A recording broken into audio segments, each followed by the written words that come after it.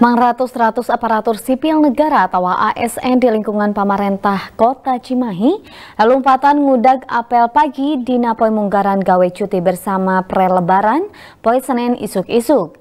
Di Napoy Munggaran gawe ASN anu terhadir tan alasan anu cinek bakal ditibanan sanksi anu mangrupa ditetekna tunjangan kinerja daerah.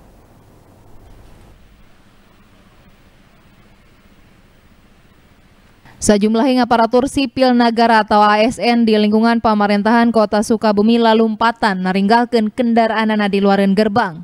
Pangnak itu tamang puluh-puluh ASN teh lalu empatan ngudag apel pagi, dumeh kaberangan alatan macet di jalan Muru ke kantor pemerintahan kota Cimahi.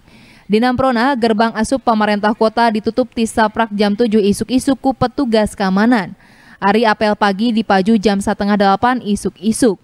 Poe Senin, ASN wajib asup gawe luyu karena instruksi Kementerian Pendayagunaan Aparatur Negara dan Reformasi Birokrasi atau Kemenpan RB satu tas cuti bersama prepanjang lebaran. Harita apel pagi dipimpin langsung ku Wali Kota Cimahi Ajay M. Priyatna. Luyu karena data Badan Kepegawaian Daerah atau BKD kacatet genep puluh ASN henteu asup gawe di napoe mugaran gawe satu tas cuti bersama prepanjang lebaran. Sakumna ASN anu henteu hadir tan alasan anu jenek bakal ditibanan sanksi tandes kasup ditek-tekna tunjangan kinerja daerah atau TKD. Eta sanksi ditibankan luyu karena PP nomor 50 tilu tahun 2010 ngenaan kadisiplinan ASN. Pemerintah Kota Cimahi bakal nibanan sanksi tandes timimiti panggeing tapi kan tek gaji upama eta PNS bolos tan diwegan alasan jero 2 poin bakal datang. Dan yang paling jelas sanksi lokal dari kita adalah yang berkaitan dengan TKD.